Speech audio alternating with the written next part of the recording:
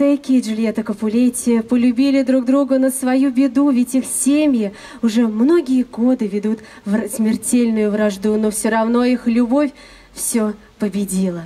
И Шарль Гуно смог обличить историю в музыку, где каждый вздох, каждый момент просто наполнен лирическим звучанием. И знаменитый вальс из этой оперы в оригинале, представляющий собой арию для сопрано, стал, безусловно, хитом мировой оперной сцены. Легкая и воздушная музыка рисует образ девушки, живущей в мире грез и еще не обремененной никакими печалями. Итак, Шарль Гуно. Вальс Джульетты из оперы «Ромео и Джульетта». Исполняет лауреат международного конкурса Елена Рождественская.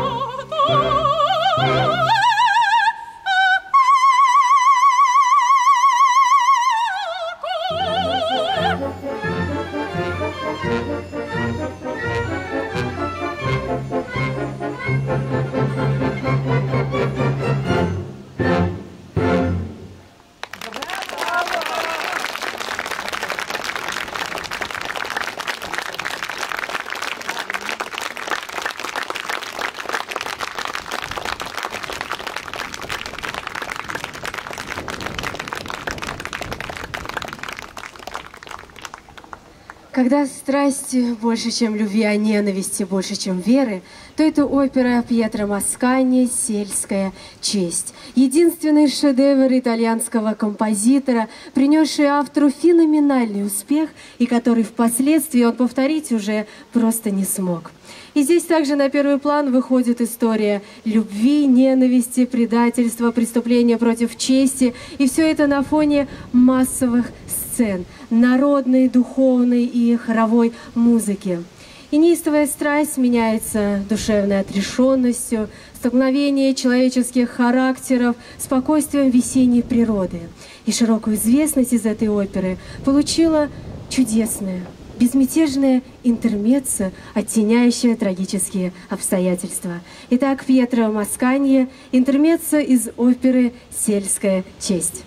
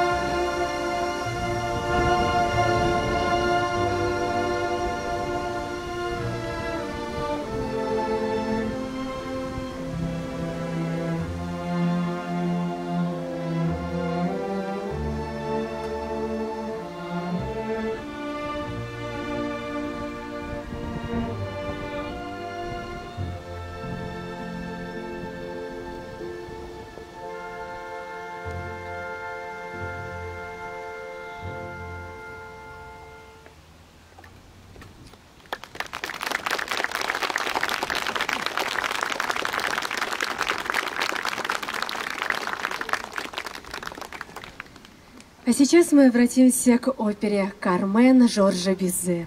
Это последнее произведение французского композитора и, можно сказать, кульминация всего его творчества. Чайковский назвал «Кармен» настоящим шедевром. Ему настолько она полюбилась, что он выучил клавир наизусть и все время твердил, что однажды это произведение станет самым популярным во всем мире. И русский гений не ошибся. История любви – дерзкой и свободолюбивой цыганки, погибшей от руки ревнивого возлюбленного Хосе, триумфом шагает по всему миру. А в Севилье, именно там, где разворачивалось основное действие, поставили даже памятник Кармен. Он находится в центре испанского города, именно на том месте, где по сюжету оперы Кармен убил, Хосе убил цыганку. Итак, Жорж Бизе, увертюра из оперы «Кармен».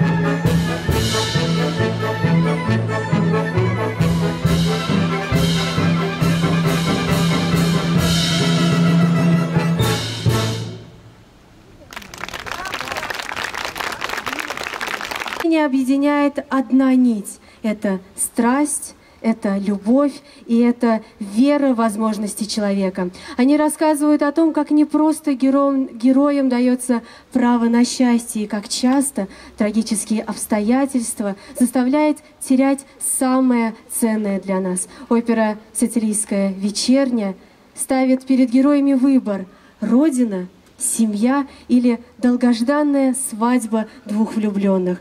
И запутанный сюжет, переживания за главных героев держит на протяжении от всей оперы, от самого начала до самого конца произведения. И опера богата хоровыми страницами, но также выделяются и оперные партии, которые стали жить собственной жизнью и даже вышли за рамки театрального искусства. Например, болеро Елены из пятого действия «Благодарю вас, милые подруги» исполняет Елена Рождественская.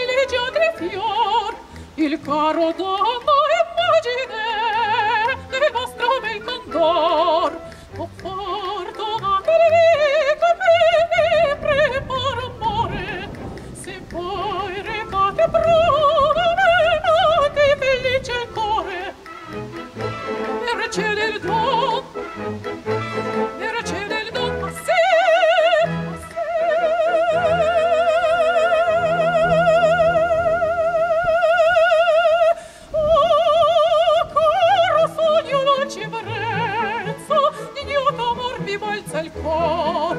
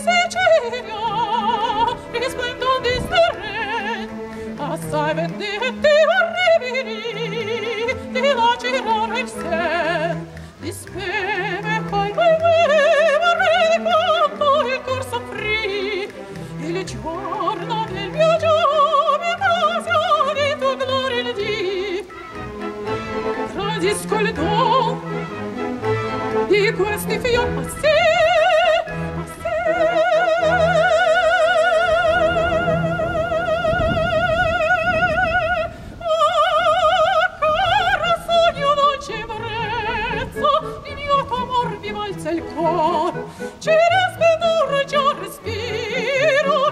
i sensi ne brilla che già respiro i sensi ne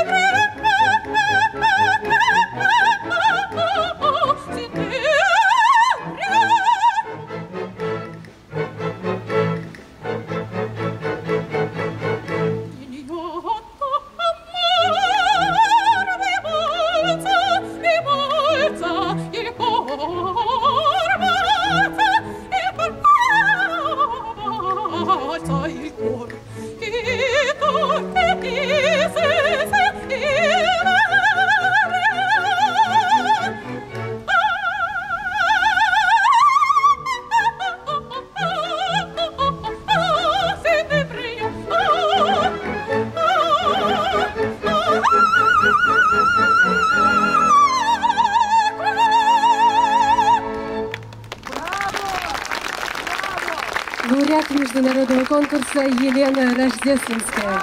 Ульяновский симфонический оркестр, губернаторский дирижер Денис Шашкаров.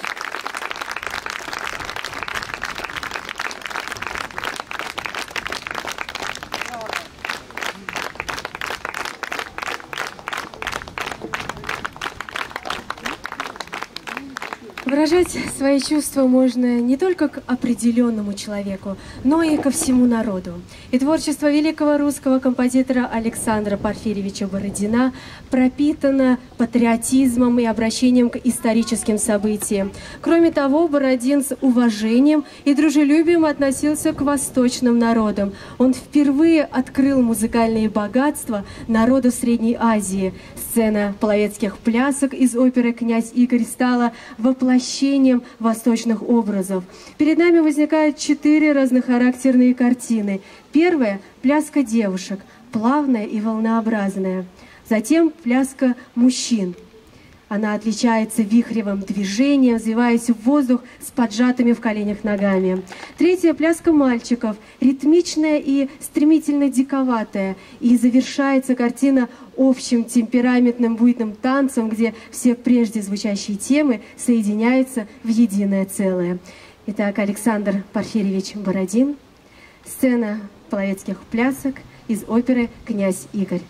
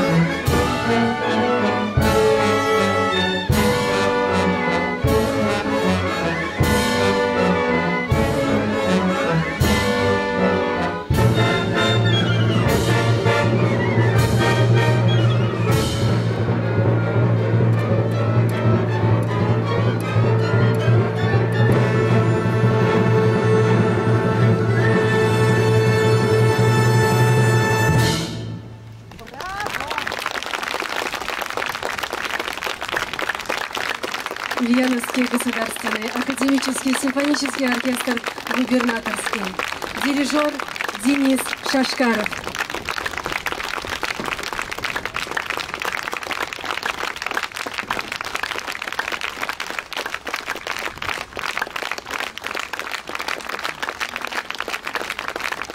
Дорогие друзья, во вторник наш оркестр выезжает на гастроли в город Елабуга, где выступят на одном из крупнейших музыкальных фестивалей, руководителем которого является пианист с мировым именем Борис Березовский. Мы желаем оркестру удачи, хороших выступлений и, конечно, мы гордимся нашим симфоническим оркестром.